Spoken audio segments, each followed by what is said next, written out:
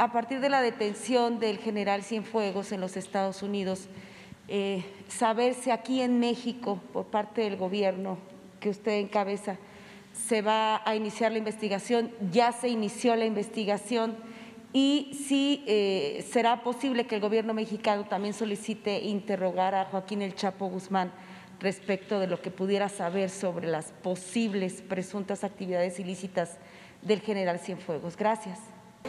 ¿Sí se le investiga aquí por parte del gobierno no, mexicano? No, existe ninguna investigación aquí, eh, ya lo este, di a conocer. Vamos a esperar el resultado de la investigación en Estados Unidos. Ya conocen ustedes el procedimiento. Mañana se va a resolver si enfrenta su proceso en libertad, como seguramente lo están solicitando sus abogados, o eh, lo tiene que enfrentar en la cárcel, como lo eh, demanda, solicita el Departamento de Justicia del gobierno estadounidense, argumentando de que no puede tener el derecho de libertad bajo fianza porque podría escapar y porque tiene eh, vínculos en México con gente eh, poderosa.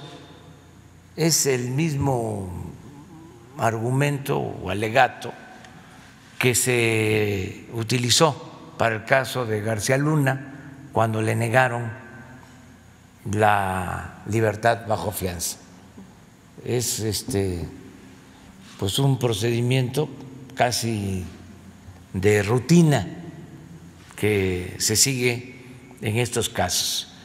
El martes, mañana vamos a saber y si no tiene la libertad bajo fianza, inicie ya el proceso este, con las audiencias y la presentación de las pruebas para saber quiénes, eh, en el caso de ser el responsable, culpable, quiénes participaron, además del el secretario Cienfuegos, en esta eh, presunta protección a eh, el cartel de el grupo que antes era de los Beltrán Leiva, pero que estaba ya comandado, dirigido por otra persona. Entonces vamos a, a esperar el resultado. También es importante eh, volver a decir de que aún en el supuesto de que resultara responsable el general Cienfuegos, no debe eh, culparse a todas las Fuerzas Armadas y tenemos que cuidar a una institución tan importante como la Secretaría de la Defensa Nacional. Yo creo que se trata de un asunto eh, que no puede eh, descalificar de tajo la función tan importante de eh, protección a la integridad del territorio, a los trabajos de protección civil como los planes de N3, ahora que nos están ayudando tanto en la construcción del aeropuerto de la Ciudad de México. No se puede por un hecho como este, aún con todo lo lamentable y escandaloso que sea, no se puede eh, desacreditar eh, de tajo a una institución tan importante para el Estado mexicano como es la Secretaría de la Defensa. Esto no significa de ninguna manera eh, encubrir a nadie, cero impunidad. Si el general Cienfuegos resulta responsable, que se le castigue. Eh, si hay otros oficiales involucrados eh, y se prueba, que se le castigue. En el caso de eh, García Luna, lo mismo, que si todavía quedan servidores públicos de ese tiempo o gentes vinculadas a García Luna en el gobierno, cuando tengamos más información, no solo se les pide la renuncia, sino se pone a disposición de la autoridad competente. Eso es lo que puedo señalar. Eh, ¿Puedo, ¿Puedo entender entonces que... Digo esto porque el sábado, eh, de muy mala fe y con muy poco profesionalismo, en el Reforma, que es un periódico eh, contrario a nosotros, se eh, señaló en primera plana que los que actuaban con el general eh, Cienfuego siguen actuando en la Secretaría de la Defensa. Este periódico pues eh, se le olvida o, o por mala fe no toma en cuenta cómo funciona esa institución. En la Secretaría de la Defensa hay 26 generales de, división y eh, pues van ascendiendo eh, por grado hasta llegar a ser eh, generales de división y todos tienen a su cargo regiones militares, zonas militares. Por eso, este, eh, si termina un gobierno y todavía están en activo, es decir, no pasan de los 65 años, este, tienen una función, ya sea en la Secretaría, eh, como subsecretarios, como jefe del Estado Mayor de la Secretaría, como oficial mayor, o están en las 12 regiones militares o en las zonas militares. Entonces cambia el gobierno y si ellos todavía no cumplen los 65 años, siguen estando en función. Dicho sea de paso, muchos de los que estuvieron en este tiempo que se hizo la investigación de el general Cienfuegos, pues ya están retirados, porque esta investigación eh, comprende, según el documento que presentó el Departamento de Justicia, de diciembre del 15 a febrero del 17. Es todo el 16 y dos meses más, son 14 meses de investigación, de acuerdo a ese documento. Ya hay muchos de esos militares que ya están en retiro. Entonces, este periódico, este boletín Pasquín del conservadurismo, este, pues no toma en cuenta eso y como lo hace el AMPA del periodismo, lanza eh, una falsedad bajo la máxima de que la calumnia cuando no mancha tizna. Nada más que tenemos que tener cuidado y actuar con responsabilidad, porque se trata de una institución fundamental para el Estado mexicano. Entonces sí, hace falta actuar con responsabilidad. Eh, nada más solo para clarificar, en este momento no lo investigan a Cienfuegos. No en un futuro cercano, inmediato, sí existe esa posibilidad de que la justicia en México sí lo haga? Desde luego, a partir de la investigación, de los resultados de la investigación, se habla en la denuncia de que hay grabaciones, eh, hay pruebas, lo mismo que en el caso de García Luna. Entonces vamos a esperar cuáles son esas pruebas y a quienes involucran.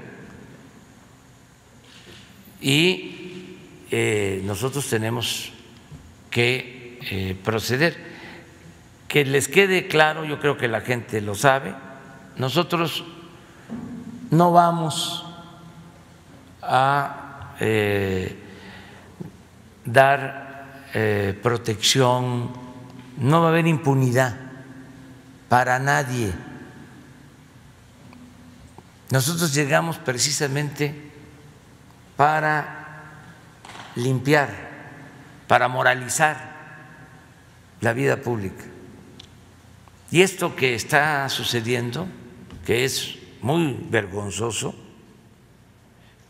lo advertimos, dijimos en su momento que si no era un narcoestado, era un narcogobierno y sin duda era un gobierno mafioso. Por eso la gente que es eh, muy consciente, el pueblo, de México, que es muy inteligente, que es un pueblo sabio, decidió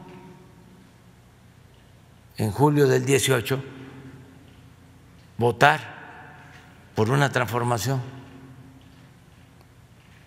porque insistimos y poco a poco se fue internalizando el mensaje de que no se podía enfrentar una decadencia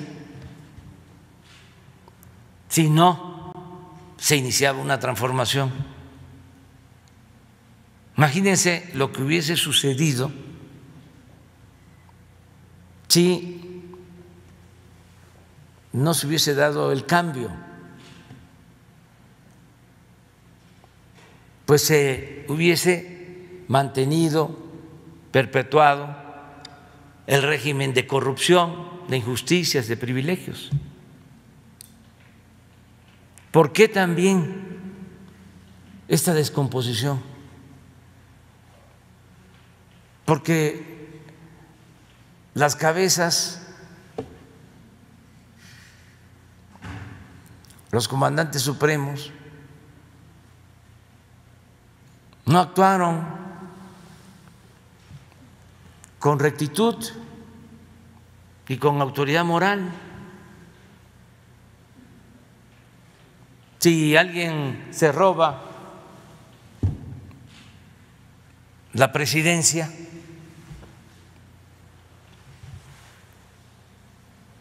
y no tiene escrúpulos, pues puede hacer cualquier otra cosa.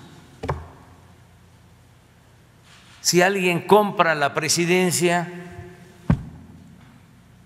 pues ¿qué se puede esperar? De que se siga actuando de esa manera. Estaba totalmente infiltrado el gobierno de agencias extranjeras.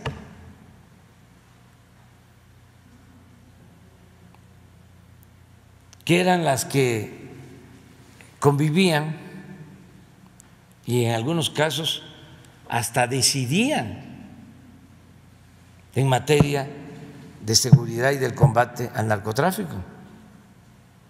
Imagínense lo que representó permitir desde el gobierno mexicano que se introdujeran armas a México para supuestamente detectar a las bandas delictivas, armas con sensores para poder saber quiénes iban a usar esas armas y así aprenderlos. Parece increíble. Primero, el nivel de ingenuidad. ¿Cómo este, con sensores se iban a saber este, identificar los lugares donde estaban las armas? ¿En manos de quién? O sea, ¿en qué cabeza cabe? Y lo segundo, pues, lo peor, el que se viole flagrantemente nuestra soberanía y que se permita desde el gobierno.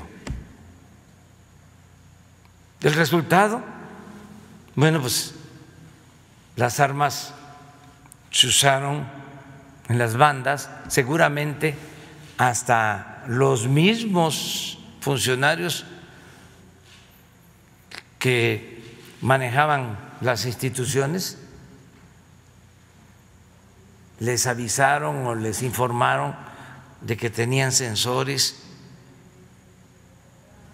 y este se utilizaron las armas para eh, quitarle la vida a personas. Entonces, dicen, eh, no sabíamos. Claro que sabían. Y el gobierno de Estados Unidos nos debe sobre este asunto una explicación y se le solicitó la información porque ellos cerraron el caso, lo volvieron un asunto secreto.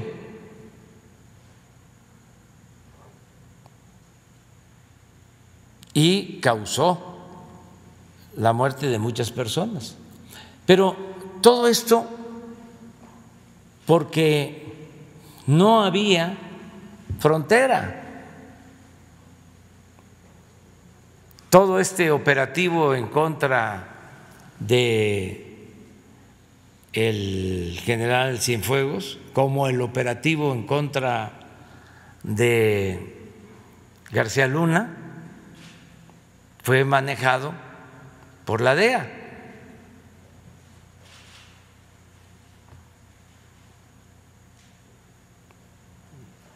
Sobre todo en México. Una cosa es que los detengan en Estados Unidos, pero la investigación, lo básico, se llevó a cabo desde el país. Entonces, a tu pregunta, vamos a esperarnos y vamos a ir este, actuando.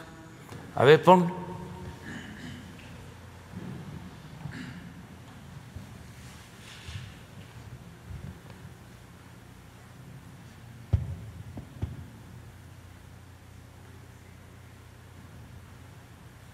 Esto fue, sí, entonces fue en febrero. Sí, el 14. Ah, pues es el día de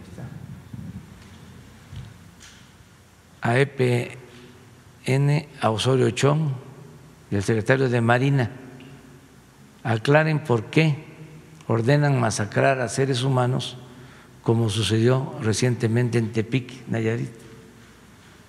Pero hay uno que es del día siguiente, pero en fin, la estrategia del uso de la fuerza no ha dado resultado. Fíjense, ¿desde cuándo estamos hablando de esto? De Calderón a la fecha, un millón de víctimas de la violencia. No se debe apagar el fuego con el fuego. Abandonen la absurda pretensión de corregir el mal sin hacer el bien. Ya basta de la guerra. Esto fue de Tepic. Pero hay otro del día siguiente de esa masacre. Porque llegué, me acuerdo, a, Tepic en avión y en el aeropuerto habían dos o tres helicópteros estos grandísimos. Y hice un recorrido. Iba yo hasta estuve dos días o tres. Y en la noche fue cuando este, ejecutaron a esta banda y hubo esa masacre. Y al día siguiente, que estuve, creo que por Rosa Morada, por, por Ruiz, por ahí, ahí me manifesté. Es más, iba yo después al norte, a Tijuana, y de ahí me fui a Los Ángeles a un meeting porque en ese entonces estaba iniciando el gobierno del presidente Trump y este, fuimos a apoyar a los paisanos en la Plaza Olvera de Los Ángeles. Llevamos a cabo un meeting en esos días. Por eso yo creo que fue en enero. Esto. Ah, Rosa Morada, 11 de febrero. Sí. Y saben también, porque todo esto tiene su explicación. Acababa de declararse, creo que el presidente Trump o alguien del gobierno de Estados Unidos, que en México no se hacía nada en contra del narcotráfico. Es buena la investigación, ¿eh? para ustedes. En enero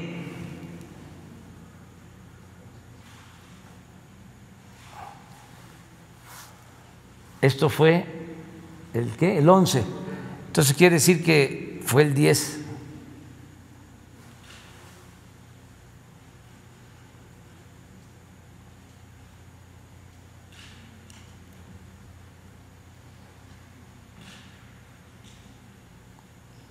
Antier, sí. No.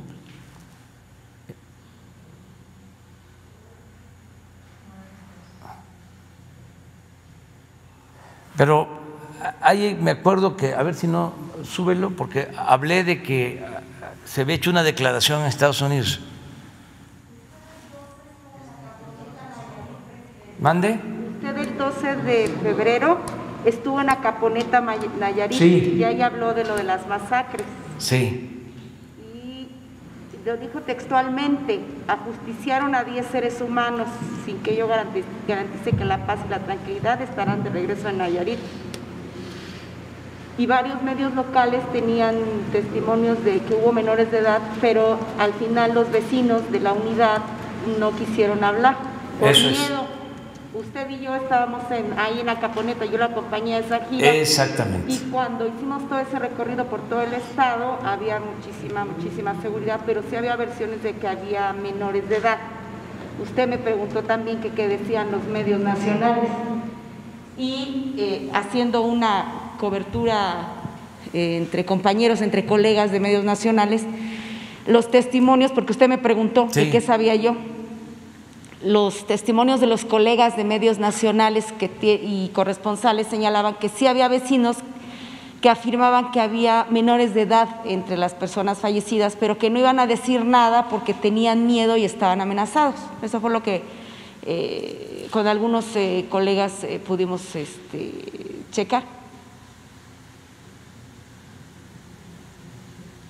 Mire, este párrafo es importante.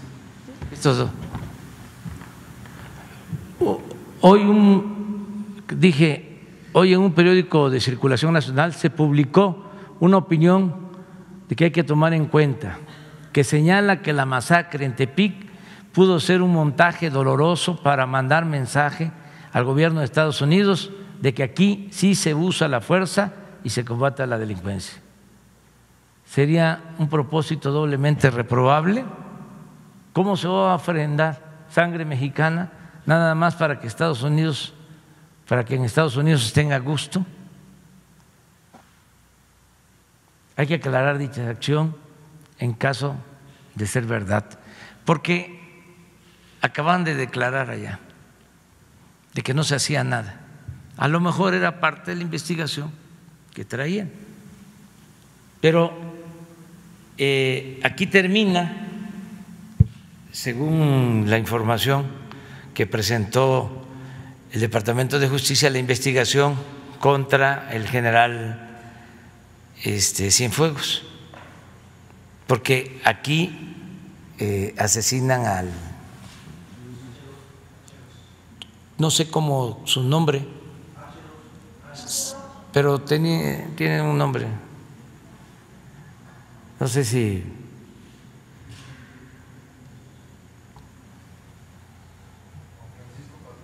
Juan Francisco Patrón, es exactamente. Eh, presidente, preguntarle sobre el tema del general Cienfuegos. Eh, ¿Qué lectura le da al hecho de que no les hayan compartido información de esta investigación que empezó hace eh, pues aproximadamente un año, de que se hayan enterado hasta ahora? Pues es este un procedimiento que tienen en el gobierno de Estados Unidos. Ellos este, actúan pues con independencia Aquí lo importante es que nosotros también actuemos con independencia. Lo que no eh, se vale es de que ellos participen en México,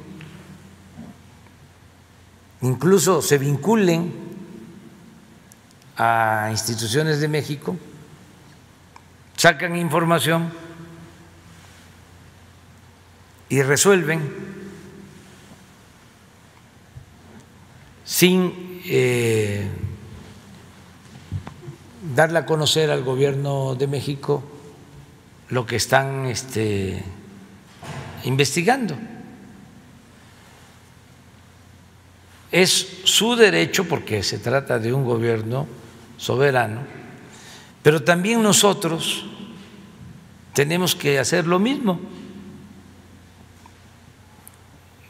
Yo desde que llegué a la presidencia hablé con los encargados de seguridad y les dije que eh, no íbamos a recibir órdenes de ningún gobierno extranjero y que se iba a cuidar la soberanía. Y son de las cosas que agradezco del presidente Trump, de que nos ha respetado.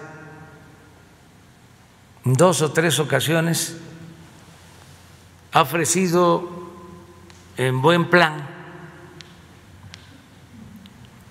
cooperación, es decir, el envío de personal para enfrentar a bandas de la delincuencia y de manera respetuosa le he dicho que no, que eso es un asunto que nos corresponde a los mexicanos. Pero antes eso no se cuidaba. prácticamente se apoderaron de algunas instituciones. Por eso yo creo que se confiaban los funcionarios.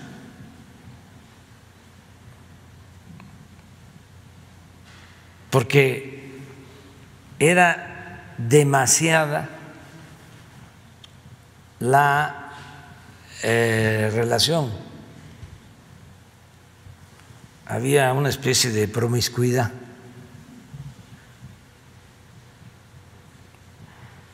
Entonces, si pensaban estaban bien allá, porque aquí les servían, pues nunca les iba a pasar nada. Eso es lo que yo supongo. Porque si eh, hubiesen mm, tenido algún problema en esa relación, que al parecer no tenían, pues no este, viajaban para Estados Unidos, ¿no? Estaban muy confiados, iban a vivir allá.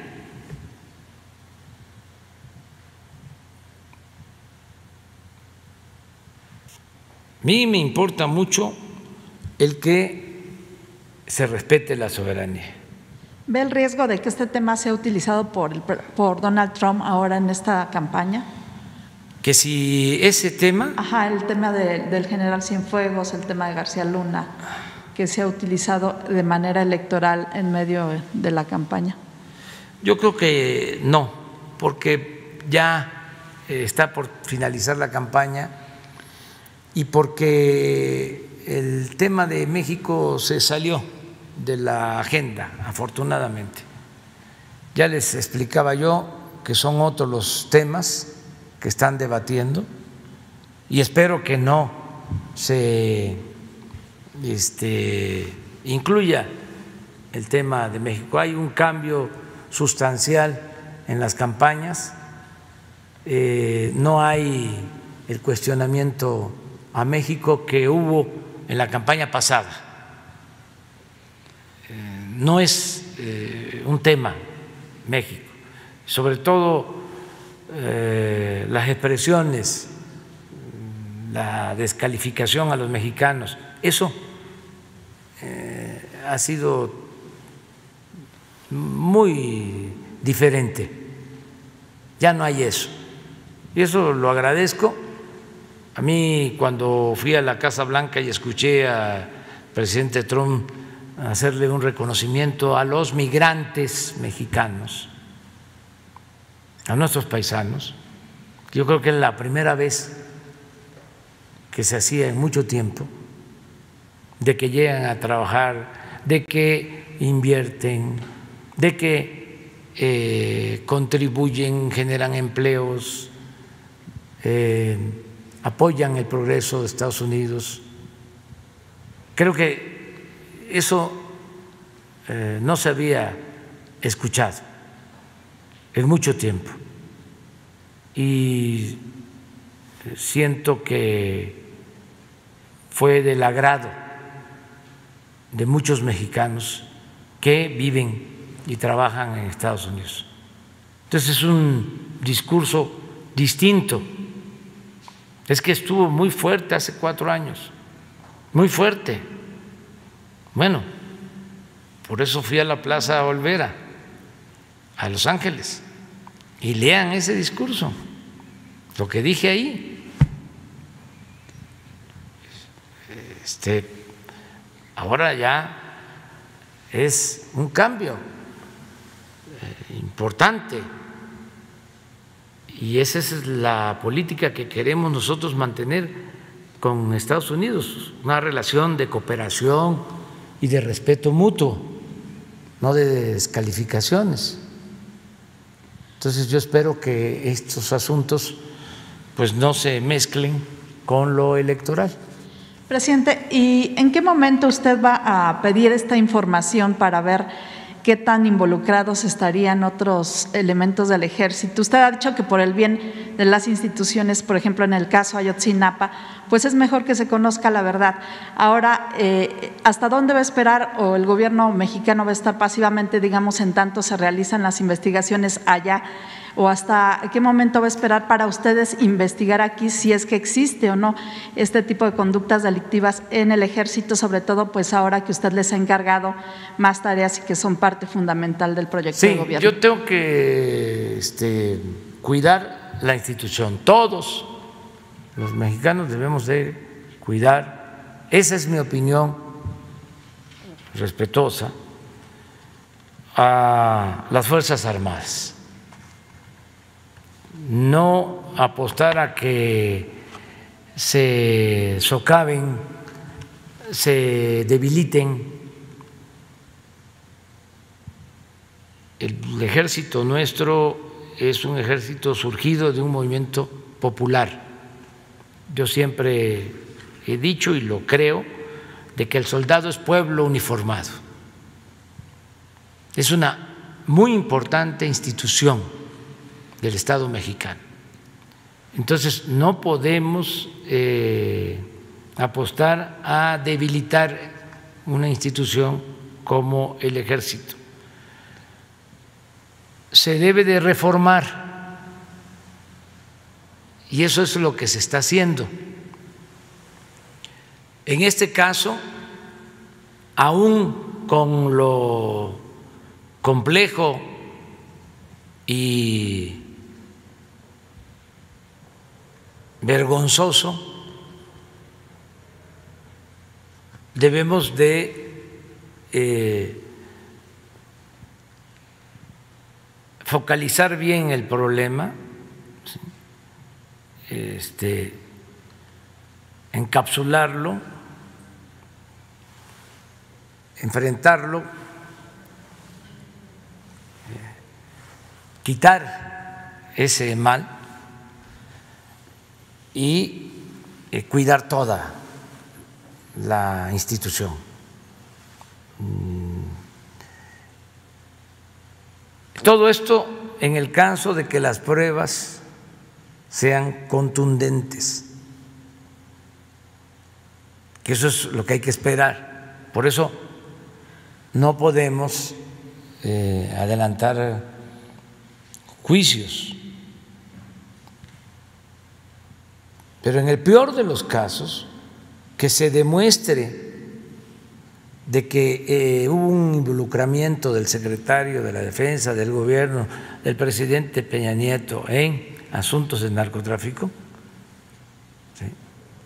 de todas maneras hay que este, resolver lo que tuvo que ver con eso.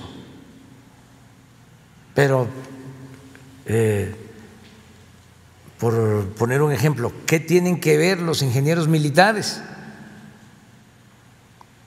¿Qué tienen que ver los médicos militares? Incluso, ¿qué tienen que ver oficiales y generales que actúan con rectitud, con integridad? Y que no están involucrados en estos asuntos. Entonces, por eso, esperemos y yo voy a pedir toda la información sobre este tema, porque es una institución fundamental, es una institución de instituciones, es un sostén, es un pilar del Estado mexicano. Entonces, voy a estar yo pendiente y eh, le he dicho al general Sandoval que se procure no eh, estar eh, declarando sobre este tema, ahora sí que como comandante supremo voy yo a ser el vocero que es un asunto muy delicado y yo quiero este, darle eh, seguimiento, informar, para que no eh, se preste a eh, un golpeteo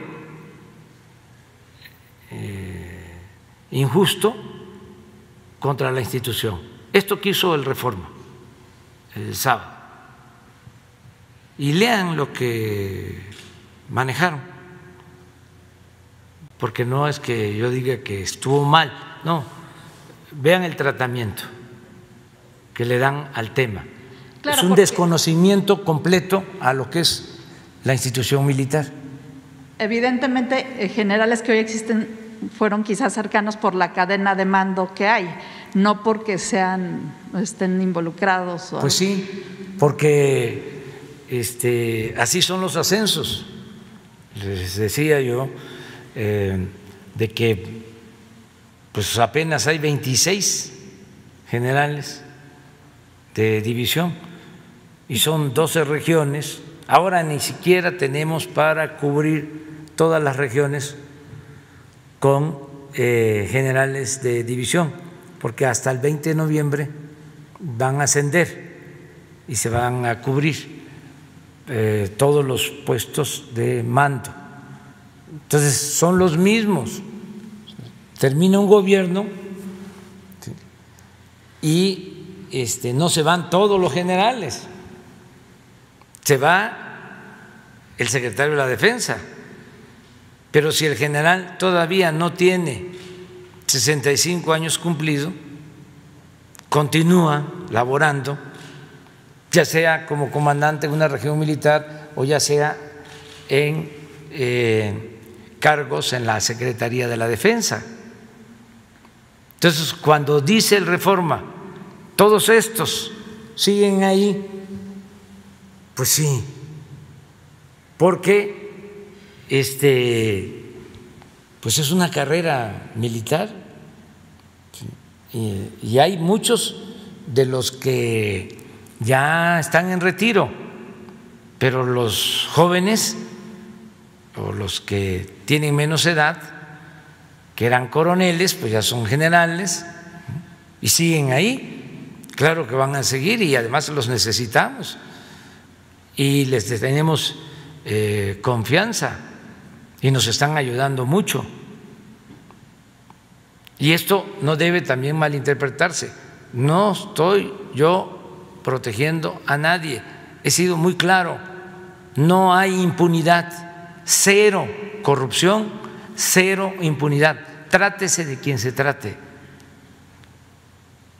Por eso no tenemos problemas con eh, nuestros adversarios ni con ningún gobierno extranjero. No eh, nos eh, dejamos chantajear por nadie, porque no establecemos relaciones de complicidad con nadie. Somos libres. Entonces, por eso puedo pedir de acuerdo a los procedimientos legales, que nos envíen la información sobre este caso para saber quiénes están involucrados y este y no eh, podríamos permitir de que se juzgue a nadie si no hay pruebas, solo por razones políticas o de otra índole. Eso no. No lo permitimos aquí ni lo permitimos este, en el extranjero tratándose de un mexicano, que por cierto, cualquier mexicano que eh, está siendo procesado o va a iniciar eh, un eh, juicio o tiene que enfrentar una acusación, tiene asistencia del gobierno de México, asistencia consular, como se dio en este caso eh, al general Cienfuegos y a todos, este, porque son mexicanos y tenemos que apoyar y proteger a ellos y a sus familias. dependientemente si están en el extranjero sometidos a juicios, porque son mexicanos